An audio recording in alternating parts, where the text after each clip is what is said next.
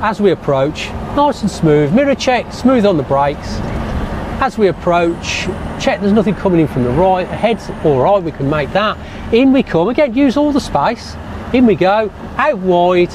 Now look at the exit, it's a bit narrower. So as we come off, if we need to borrow the oncoming side, we'll wait patiently till there's a gap, slow it down a little bit, slow it down, slow it down.